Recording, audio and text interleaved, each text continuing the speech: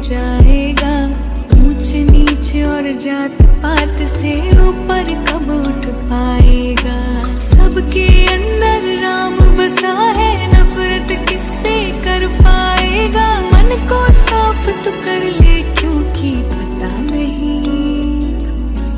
पता नहीं किस रूप में आके नारायण मिल जाएगा।